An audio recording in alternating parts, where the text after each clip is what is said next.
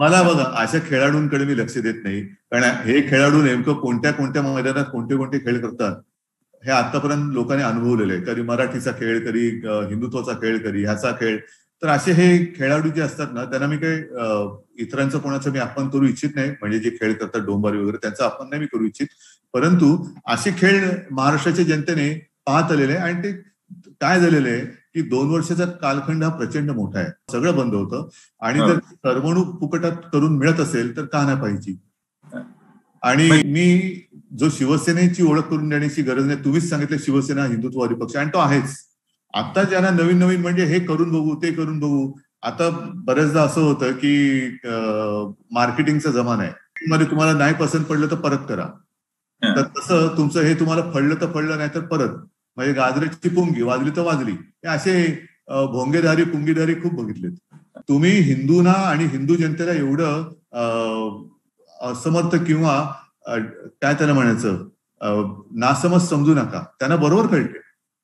शेवटी हिंदू म्हणजे कोण आहेत? काय ते या देशातून परके नाही आलेले?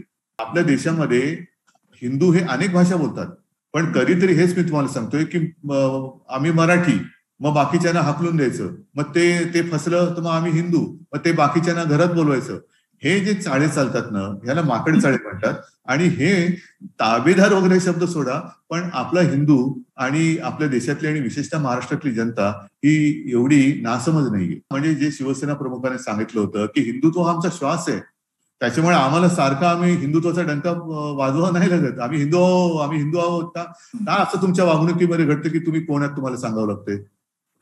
का तुम्हाला रोज तुमची नवीन नवीन ओळख आणि नवीन नवीन तुमचे सगळे जे काही झेंडे ते फटवायला लागतात? कधी ह्या रंगाचा कधी त्या रंगाचा कधी त्या रंगाचा.